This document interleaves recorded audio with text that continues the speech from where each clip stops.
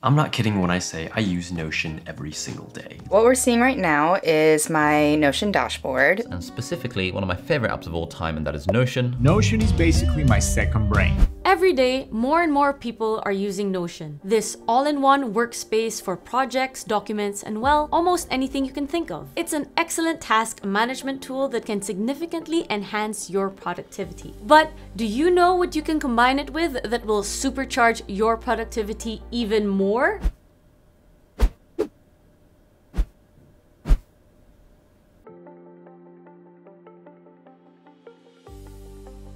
Hi Dygmates, I'm Dominique, and today we're going to dive deep into how you can level up your efficiency and productivity with Notion and a programmable keyboard. Notion provides many templates for almost anything you need. This can save you a lot of time as it'll be much easier to customize a template than to make one from scratch. Notion is also fully equipped with keyboard shortcuts, markdown, and slash commands, so you can do most things without ever touching your mouse. However, some of those shortcuts and commands require you to press multiple keys or type long strings of text. For example, you can press Command Option 4 or Control Shift 4 on Windows to create a to-do checkbox, but that requires quite some hand contortion. You can also type slash to do to get the same result, but that's also cumbersome. What if you could perform each and all those shortcuts and commands into single keys on your keyboard? It would be like an awesome custom Notion macro pad. All you need is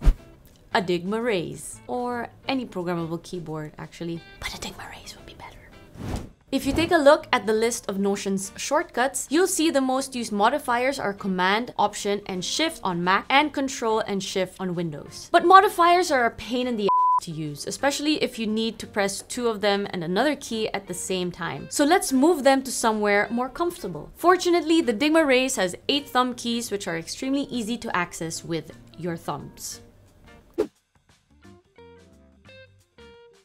So the first thing we should do is put your command Option and Shift or Control Shift and Alt for Windows on your thumb keys, along with Space, Enter, Backspace, and Delete. This is actually more of a general rule for any app and not only for Notion. Try to position the modifiers you use the most in the thumb keys that feel more comfortable to you. You can even have a key that combines two of those modifiers like Control and Shift, which is used a lot on Notion for Windows. You might have noticed that I mentioned more than eight functions and we only have eight thumb keys. Well, for those of you who are new new to the channel, that's where dual function keys come in handy. You can have things like space or enter when you tap a key and a modifier when you hold it. So something like this would be a good starting point. But this just covers the basics. Time for the fun part, making this keyboard a huge macro pad for Notion. If you pay close attention, you'll see that beside the modifiers, there are two keys on the thumb cluster that say L4 and L5. Those are keys for accessing other layers. In case you're not familiar with layers, think about how holding shift makes all your keys capitalized, or how in some keyboards you can access your function keys by holding the FN key. If you want to learn all about layers, check out this other video. As of now, those two layers are empty, but let's fill them up with useful shortcuts and commands. Being able to move through text, paragraphs, documents, pages, and databases without having to reach for the mouse can be a great time saver. So let's create what I like to call a movement layer to do just that.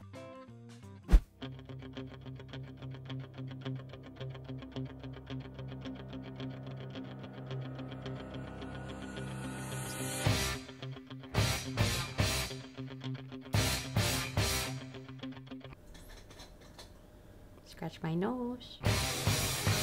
Okay, I know what you're thinking. What? To help understand this better, I've colored all arrow commands into warm colors, red, pink, orange, and yellow, while all other movement commands are in cool colors, different shades of blue. So we have the arrows in the I, J, K, and L keys, command left and command right to go at the end or beginning of a line, alt left and alt right to move through words. And then on the left side, we have another set of arrow keys that have the modifiers alt shift, up, left, down, and right. And this allows you to select words whether you go up, left, down, or right. Here we have the shift command left, shift command right, and this allows you to select the entire line left or right. Here we have the mouse wheel up and down, mouse wheel left and right, page up, page down, home, and end. And for the last functions here on the right side, we see the command open bracket and the command close bracket. And this is to go back and forward in a page in Notion. And for the last commands, we have Control Shift K for Mac or Control K for Windows to go to the previous database page and then Control Shift J for Mac or Control J for Windows to go to the next database page. Don't worry, we'll be sharing the layers we've created, so make sure you watch this video till the end. This layer isn't only great for Notion, but also for writing emails, long texts, or documents. Of course, you can modify this however you want. Maybe you don't use home and end as much and would like to change that to zoom in and zoom out or switching desktops. But the fun doesn't stop there. Are you ready to add more specific commands for creating content?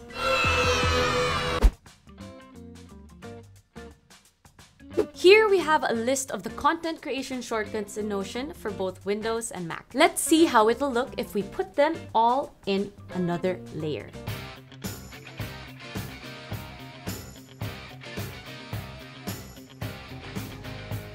Always a good idea to use colors to remember what each key does. Turquoise is for text, yellow is for heading 1, 2, and 3. The green one is the checklist, blue for bullet points, neon pink for numbered lists, tangerine for toggles, red for code, and white to create a new page. There are other shortcuts that are frequently used in Notion, especially if you're collaborating with other people, such as creating a comment, which has the shortcut Control Shift M for Windows or Command Shift M for Mac. We can also add the at symbol to tag people in the comments. Another awesome thing about text editing in Notion is that you can color or backgrounds. This shortcut requires you to type forward slash, then the color at the beginning or end of any text block. For example, slash blue or slash background. That's a pain to actually type every time you want to change the color of anything, but it's a breeze if you can configure a macro to type it for you.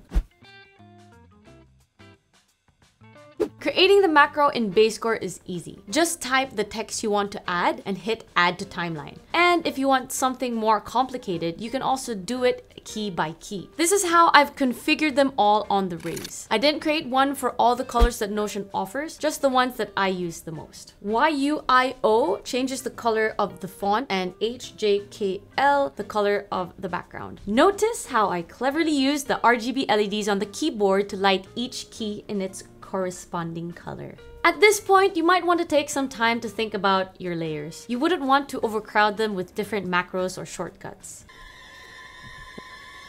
Yeah, macros, shortcuts. To help you avoid that, Super Keys will come to the rescue. It's Super Key!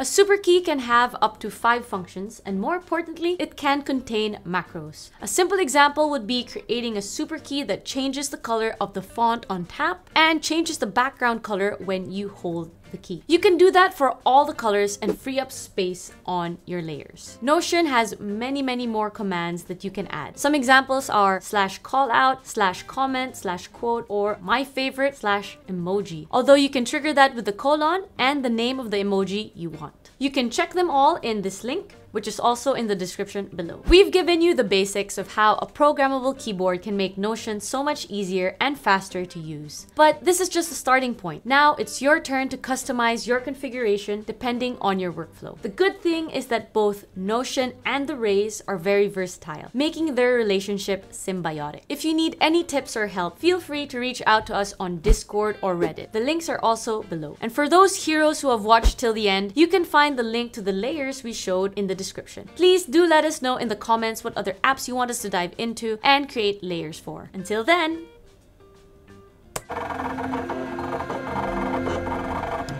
people are using combine. Yes, I'm so clever. Look at me, I'm so smart.